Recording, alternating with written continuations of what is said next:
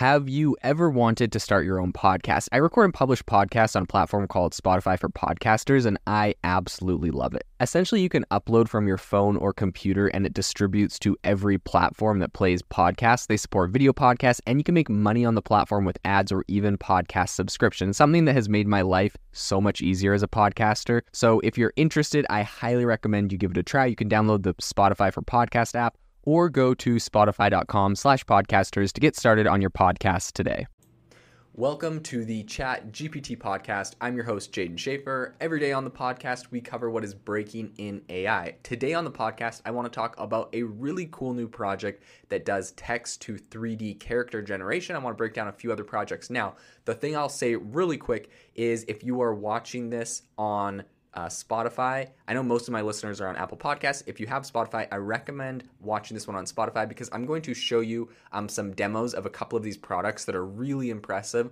Um, show you some 3D worlds that have been created and some 3D character creation tools. Um, so check this out on Spotify if possible. If not, I'll describe it on uh, for all of the 70% of you I think that listen on Apple Podcasts. So in any case, um, a recent project just dropped. But before I talk about that, I do want to really quickly put a shout out to a project I have been working on for six months, which is called AI Box. It is the App Store for AI.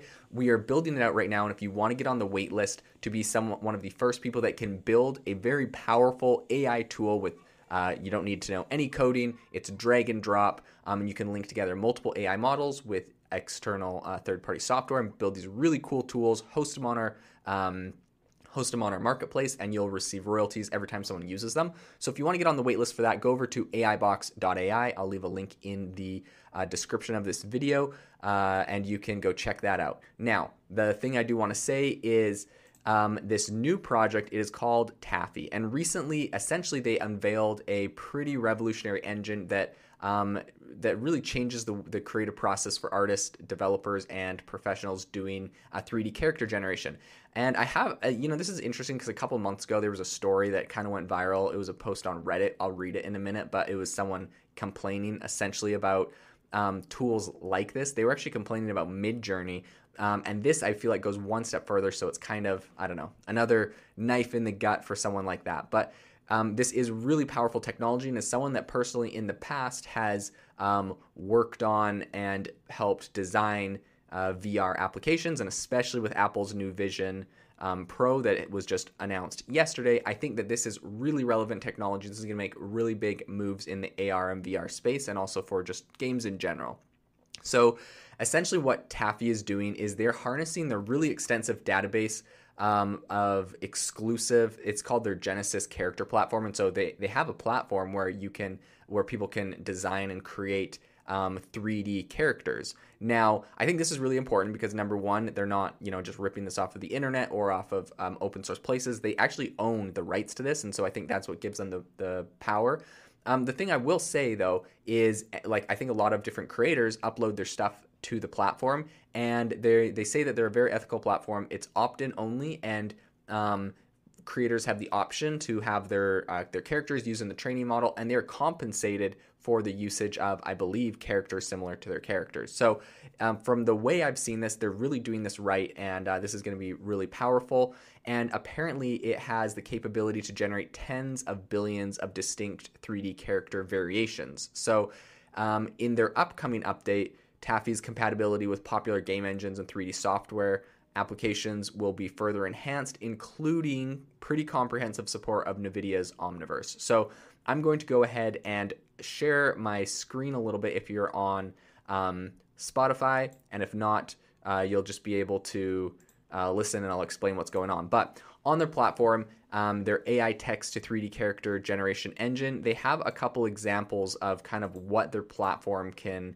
do. And so they have it where they, they have like a prompt box. They say, make me a middle aged Asian man. It really quickly creates an Asian man um, they say make him older, make him shorter. It quickly gives him gray hair, makes him shorter, and this is all a 3D object. They say, you know, give him like some cool clothes from a sci fi thing. It gives him a bunch of different outfits from sci fi. It says make him a woman with short hair. It very quickly is able to just transform it.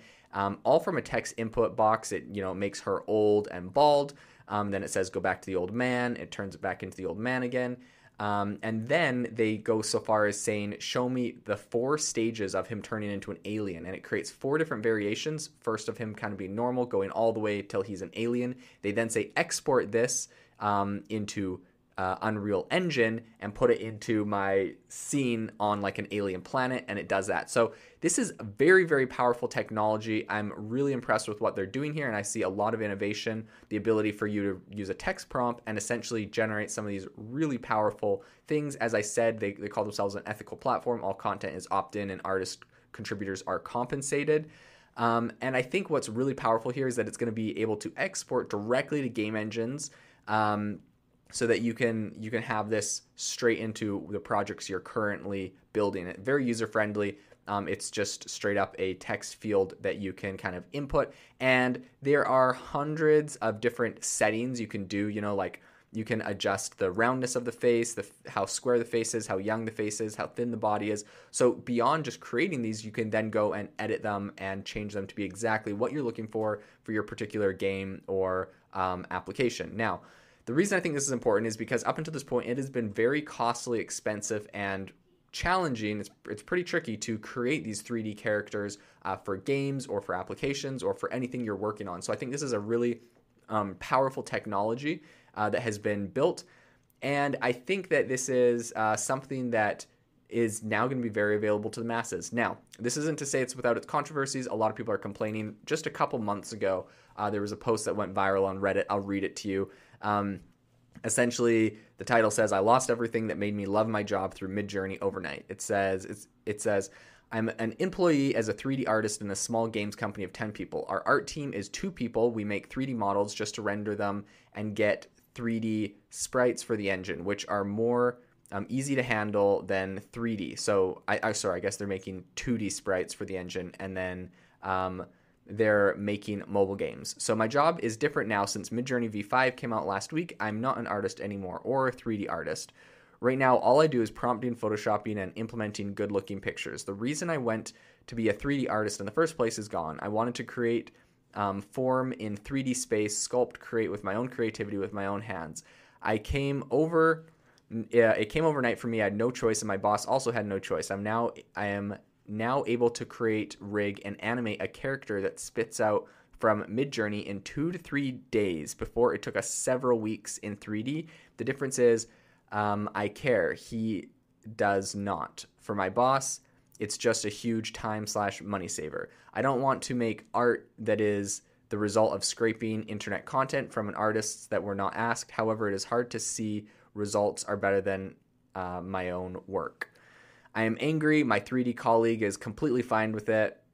Um, he prompts all day, shows, and gets praise. The thing is, we both are not at the same level quality wise. My work was always a tad better in shape and texture rendering. I was always very sure I wouldn't lose my job because I produce slightly better quality. The advantage is gone, and so is my hope for using my own creative energy to create. Getting a job in the game industry is always hard, but leaving a company, a nice team because AI took my job feels very dystopian. Um, I doubt it would be better in a different company. Also, I am between grief and anger, and I'm sorry for using your AI art, fellow artists. Okay, so this came out just two months ago, and I think this just highlights how fast the industry has changed. Um, Midjourney completely upended a lot of jobs and how things were being done in that space um, due to it. But I think we've just taken with Tafi a whole nother step, right? It said, um, he said in the past, it it was taking uh, them several weeks to get a 3D character. Now it was two to three days. Okay, well, guess what? Now it is 10 minutes or five minutes of tweaking on Tafi because this thing is incredibly fast, incredibly powerful, and it can make anything that you're looking for. So um, in fact, you could go on Midjourney, get inspiration if you still wanted to, and then just type in uh, some prompts into Tafi to actually get it to create a person. So I think that, um, yeah, this is pretty rough for people whose whose jobs are being replaced. But at the same time, this makes it more accessible for everyone. And as someone who personally can't uh, design that and who has wanted to for different projects I've been making, I see this as a, a Tafi, for example, is a very powerful tool and uh, enabling you know the masses to be able to access some of this technology. So I think while it, I yeah, I don't know what to say. It is hard, but it is what it is, and this is a very incredible and very powerful technology. And the one other thing I wanted to um, show with this technology is that there was a recent other project. I think I've talked about it a couple times on some podcasts called Skybox AI, and essentially it allows you um, to create these 3D environments where you just type in the text box and it creates an entire 3D world for you. So on their homepage, they have one that is like uh, a bunch of mountains in Arizona. Now, I just recently tested this out and I typed in create a tropical island with waves and dolphins around it. And um, I, I, selected realistic. You can do anime, art style, fantasy lands, digital painting. There's a bunch of different things you can do. It created one. Now, it's not perfectly realistic. Obviously, I think there's a lot of tweaking that could happen on this. Um, but it is pretty impressive compared to some other 3D islands and arts that I've seen. It's funny because I said uh, create a tropical island with waves and dolphins around it. It definitely is a tropical island. It's got the palm trees, the sand, the beach, the ocean, the waves, and then when then there's just like a random dolphin flying through the air. I think there might be a couple of those. Um, yeah, there's a couple random dolphins just flying through the air. So I think you definitely have to tweak that. But honestly, pretty impressive. It rendered this in about I want to say a minute and a half and it, this is very i mean i'm sure i could come up with a lot more complex prompt try to make this a lot more you know ultra realistic high def um, but very very impressed. I used to uh, buy these similar kind of scenes um, online for my for a vr app i created for Selfpause so that you could just like meditate in different locations and kind of like look all around if you wanted.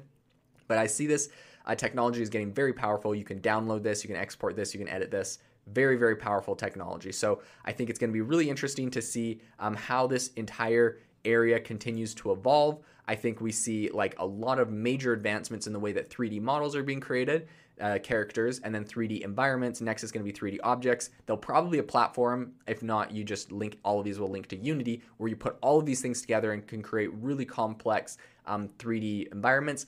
And it's not very far off for me to assume that you could, if you wanted the same theme and style for all of them, eventually some of these platforms, you'll be able to say, make six characters like X, Y, and Z in an environment like this, on a map like this, that do these things, and it just generates all of that content for you. It's going to be absolutely insane. Um, and I think, you know, to the point of the Reddit post that seemed kind of sad, you know, at the end of it, he signs off like, I'm sorry for using your art, fellow artists. Well, Tafi doesn't have that ethical dilemma. Like artists opted into it and artists are getting paid for it. So it's like a little bit, to be honest, it's a little bit less sad. It's actually just like a new revenue stream for some of those artists. Um, and I think that it's this is just the way that everything is going. So it'll be very interesting to continue to follow this into the future. Thank you so much for listening and watching the podcast today. If you liked it, I would really, really appreciate it if you review it um, on Spotify or Apple Music or wherever you listen to your podcasts. Um, it helps the show out a ton for just new people to find it.